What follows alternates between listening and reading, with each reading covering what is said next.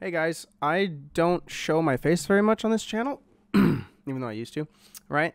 But um, somebody asked me recently, actually today, recently today, somebody asked me today uh, about like an hour and a half ago, um, why the TF2 bot hosters host bots and why they bait so much and all of this, and basically what's the reasoning and the, the purpose behind all of their stuff. And you know, me, I gave the obscenely long answer to all of it because I know that everything is connected, uh, whether people really like to care f- uh, to enjoy it or not. Um, and so I'll probably have background footage of like some other game playing underneath this, but um, I just wanted to narrate my thoughts because I thought it would make for a decent short video before my big major video about this entire thing to the insanely absurd degree that I understand it to be. So, um, why the bot hosters host bots? There's not one definitive reason for every single one of them, and that is the fundamental truth that most YouTubers either are aware of and choose not to discuss or are simply unaware of. This there is yes, factors of the hosting itself that all tie back to the same symptoms or underlying causes, but there are a great many reasons as to why they specifically host bots. For some reason, uh, sorry, for some, it's an expression of technical skill. I put air quotes around this technical skill bit. Um, because there's real technical skill and the skill that one has that makes them simply feel good about themselves. Since gaming was born, practically, there were modified cartridges that were sold to consumers with cheat codes on them, like the Game Genie codes in uh, that you could apply to like most any NES game, but famously Tetris that they use in competitions uh, that enable you to read the scores of the game in hexadecimal, so that like in the pro tournaments, right? You can calculate your score a lot easier once it goes past a million rather than just uh you know calculating it manually. It makes your job much easier. In a way that's the first example of cheats. Uh, although people back then referred to such tools as video game enhancers right? The first examples of cheats were these Game Genie codes, but even back in the 80s, people were so resourceful and clever that they figured out what is now known as the infamous uh, Konami code up, up, down, down, left, right, left, right, B, A, and sometimes start or select. The this code, I believe, adds infinite lives in Contra. I believe that's when it was discovered. Um, sorry, I lost my part in my little script here. Uh, these sort of things become prevalent with cheat codes like IDKFA in the original two Doom games in 1993 and 1994. Technically speaking, you can even cheat or in the original Half-Life games as long as the developer console is enabled, right? Naturally, there are trade and idle servers across most of Valve's games where the server hosts simply enable the all-powerful sv underscore cheats one command, giving everyone free reign to cheat and do whatever they want I mean, when I used it, I would like disable my HUD and basically go into photo mode and just kind of remove gravity and just zoom around the map and get these really rotoscopy shots. Uh, I thought it was really cool. Um, uh, giving everyone free reign to cheat and do whatever they please. One can even cheat in the single player campaigns of Half Life 1 and Half Life 2 by simply typing Impulse 101 and acquiring all of the weapons that the game will eventually give you with sufficient ammo for the time being. Uh, I did that recently, actually, because I wanted to know is there like a, a version of IDKFA for Half Life? And there is. it's safe to say then that games as a whole have never discouraged cheating one way or the other. Most people, having grown up watching sports on TV at that point in history, understood the concept of rules in a game being necessary to give everyone a sporting chance, right? And to bend, break, or ignore those rules was unanimously seen as cheating. When video games come around in history, however, everyone knows that there's it's still experimental technology, and uh, it, there's not a whole lot stopping you from breaking it or altering the code in any way, right? Especially if you're like smart enough to, to do so, if you like have the knowledge for all of it, right? But for the most part, if you're playing like a multiplayer game, you know, like Mario Kart, there's obviously a trust system that really doesn't exist anymore uh, among modern games, where like you really don't know who's trustworthy to play with anymore because everyone's a cheater because the skill the, the divides in the type of people who play games are enormous. And this is kind of this isn't something i entirely wrote down but it's kind of like how the skill ceiling for games goes up really high and instead of people being encouraged by it they get turned off by it because of the laziness that this world has bred us to live in. And it's really disappointing because tf2 used to be a prime example of how high a skill ceiling in a game could get and how possible it is to achieve it. And you know that this is something I talk about in my big long video that I'm making, the big 25,000 word script. Um, so stay tuned for that. But to get back to the main point, um, if you're playing by yourself, no one's really stopping you from just adding all those extra lives in when playing Contra, so who's going to care?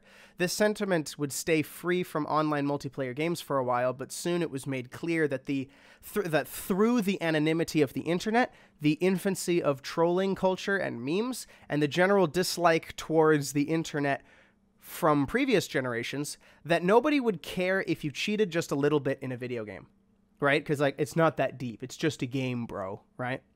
But a little turns into a lot over time through the classic snowball effect. It's the story as old as time itself. When you tell a three year old not to do something or not to go somewhere, chances are they're going to do it anyways, right? And I'm from a large family, so I know this like to an experience that most others really don't.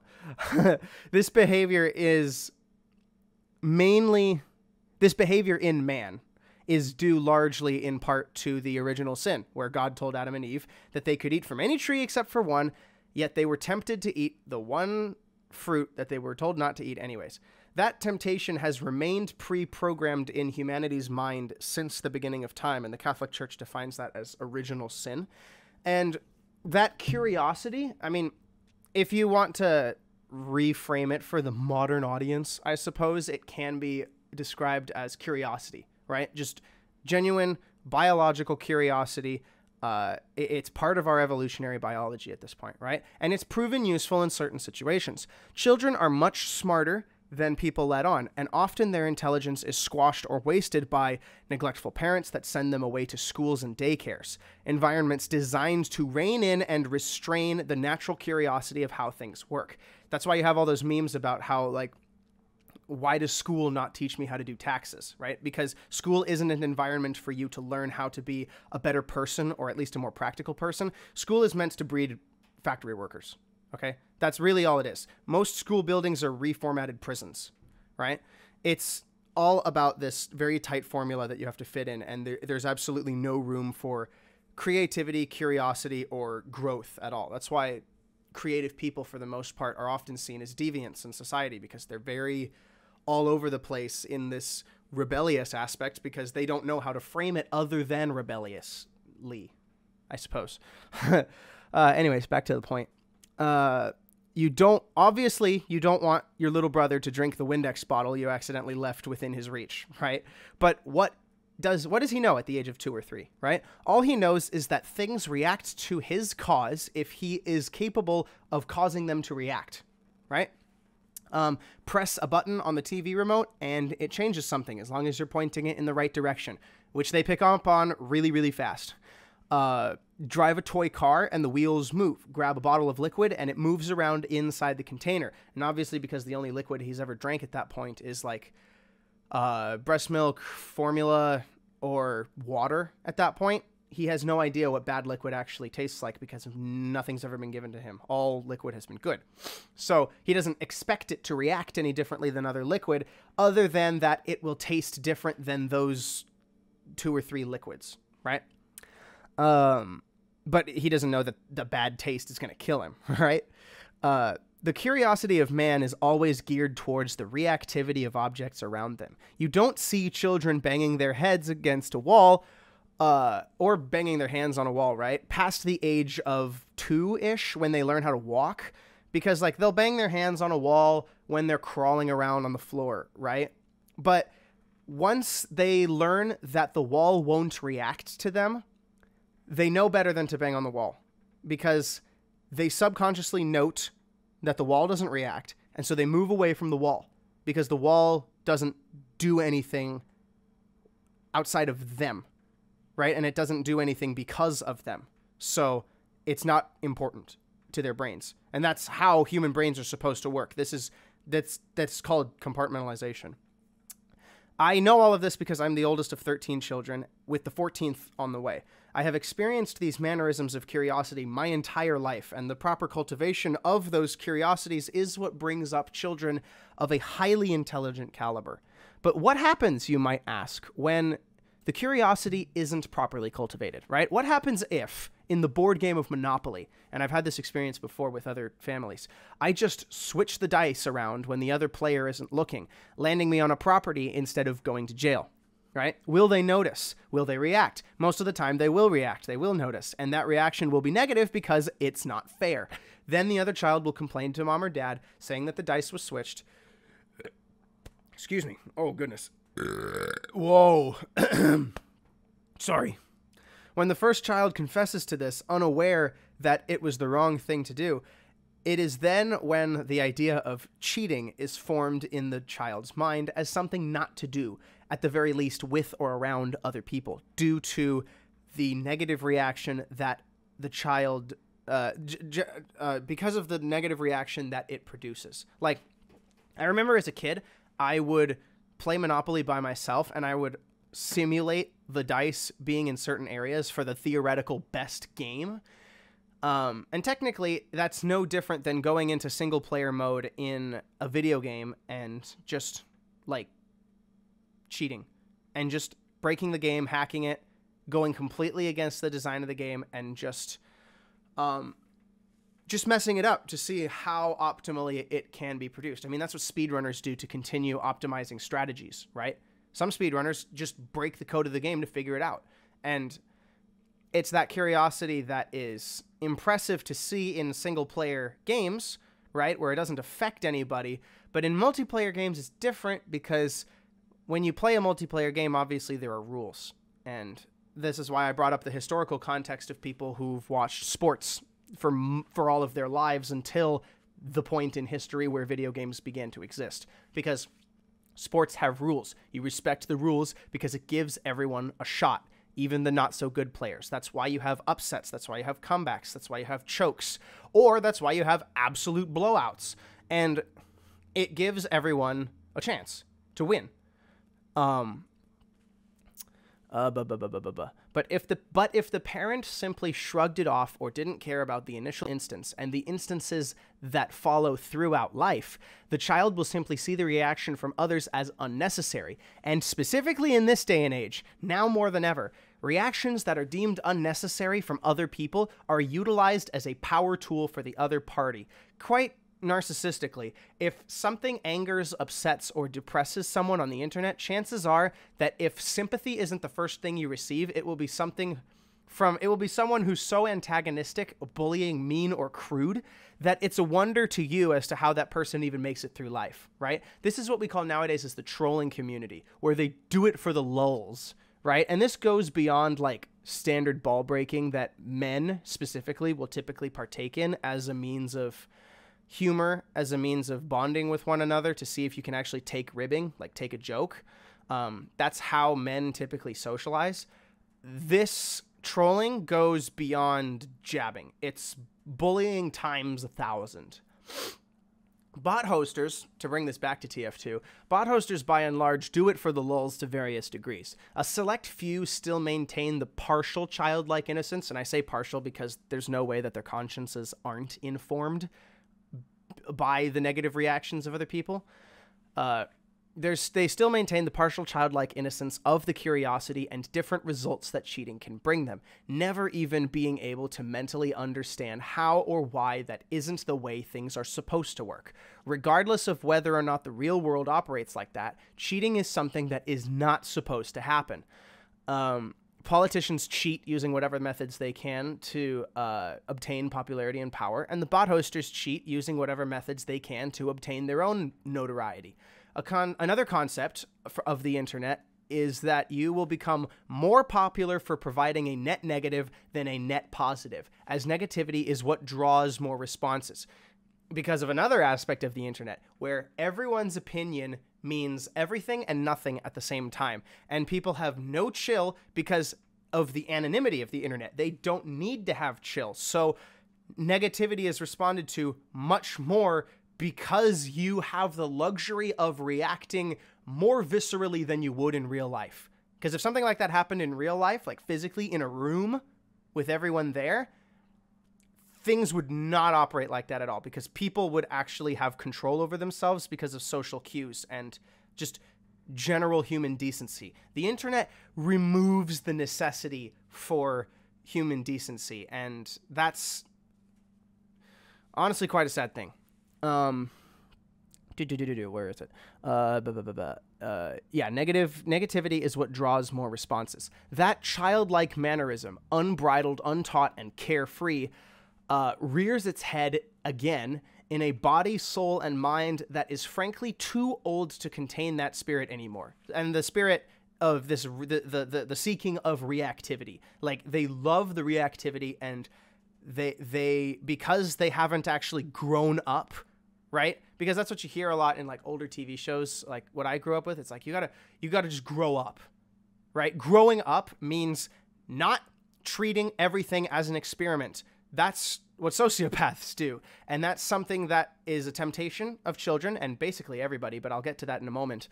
Um, it's it's it creates this difficulty to even have friends as a kid. And so you want obviously to maintain curiosity, but only in the fields in which the curiosity can be utilized in a net positive, not a net negative. Um, otherwise, you categorically become crazy. Um, thus, that spirit becomes what religions would call a carnal desire. The desire for attention, reactivity, and the results that come from it is something that every human possesses to differing degrees. For most well raised people, that desire is tamed so easily that people don't even realize it in a social environment.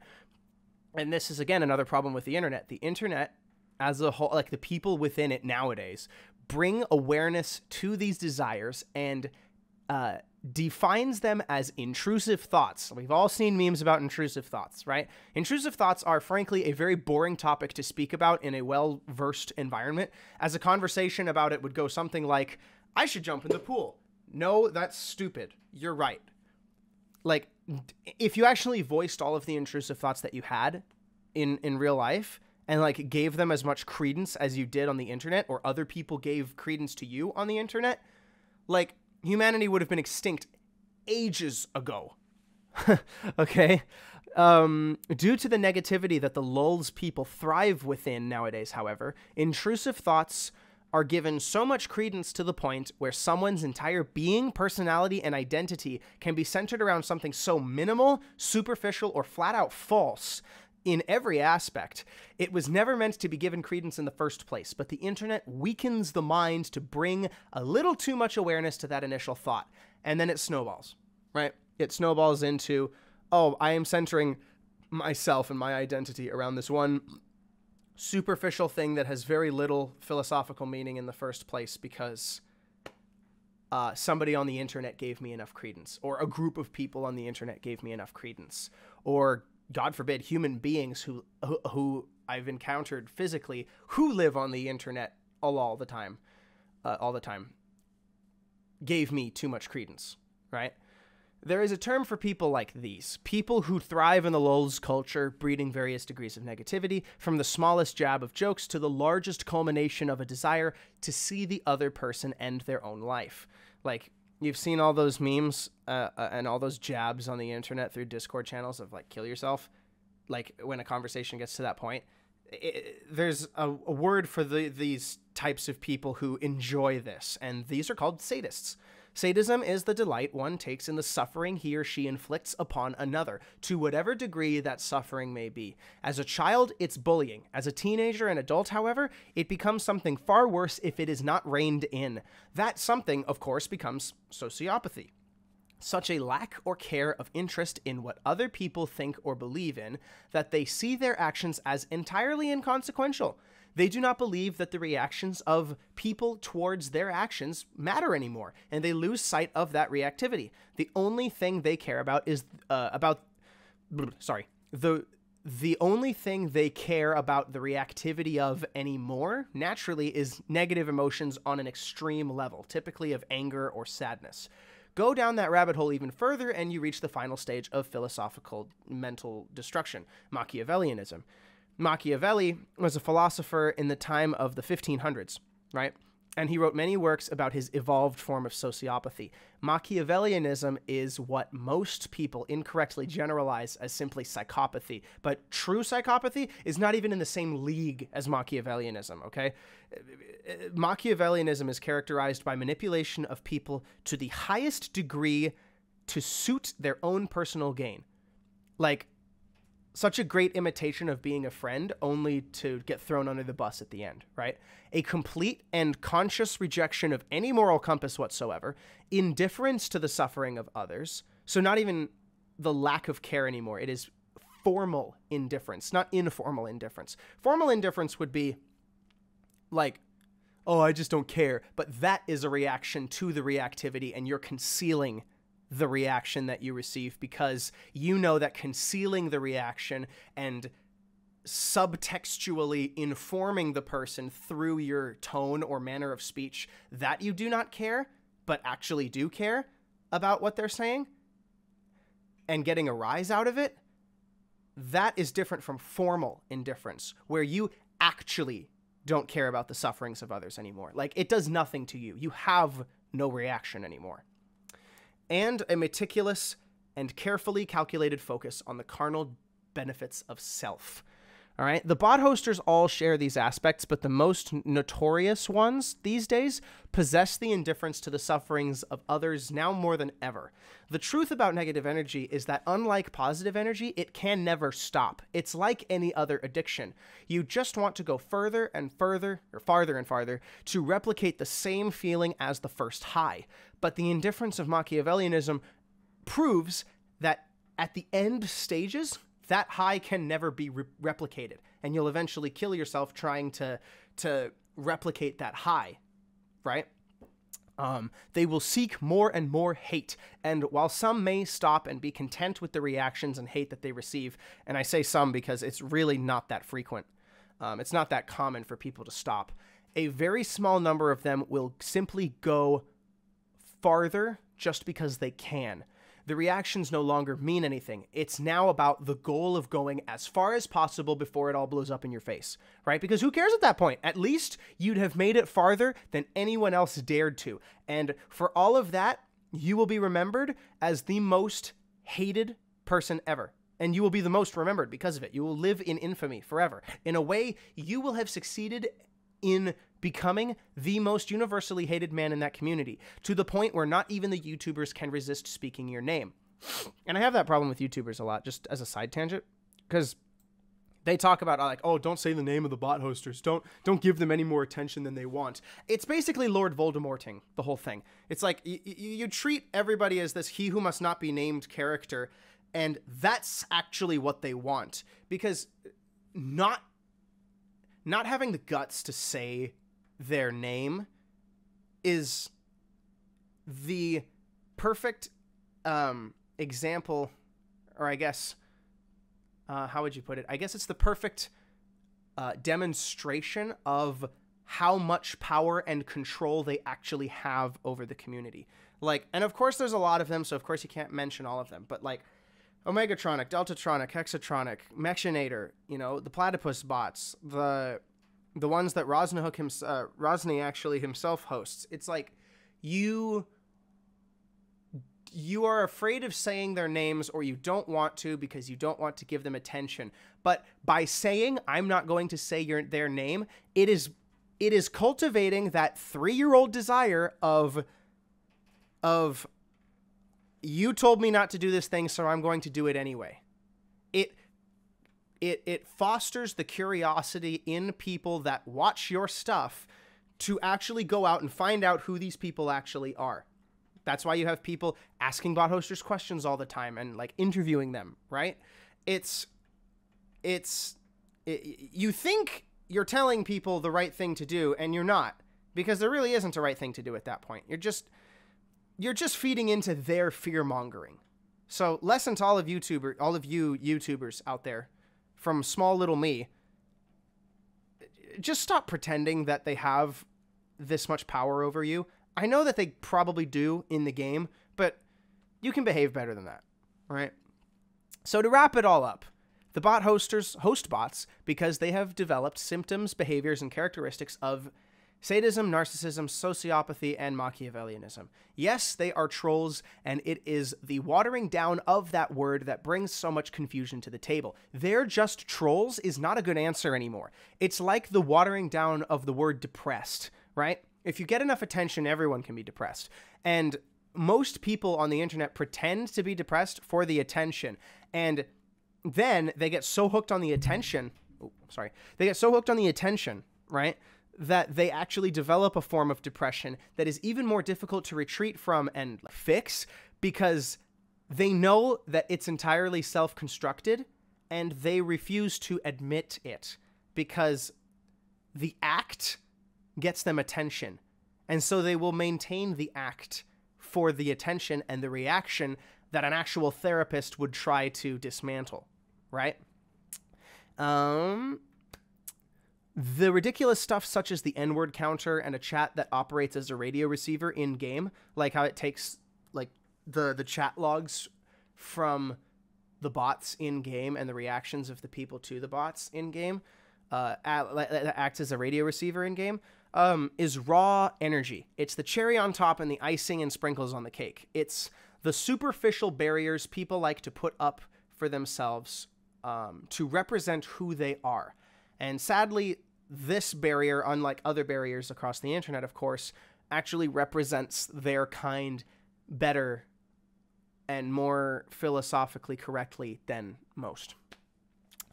Uh, yes, they're baiting because it's all they know how to do the only thing they do at that point, the only thing we can do towards the bait at that point is be strong enough to pull the rod into the water so that they can't fish anymore. But of course, they'll simply get another fishing rod, more hooks, and more bait, and it won't stop until the lake can be closed the, uh, closed off from fishing or something else can be done about it, right? You can tell people to fish elsewhere. So that's basically my thoughts on the entire thing. It's very, very, very summarized. It's a summarized version of my um, um, actual large essay um, because I I just whipped this up in about 45 minutes to an hour and I the the mega script itself is around 25,000 words now and this one is only about 2200. So this is a summary, it's about a tenth of the points I'm going to make, but this is basically the explanation of why people do what they do. And holy cow, that actually took a long time. 28 minutes. Gosh dang. All right. Well, that's all for me.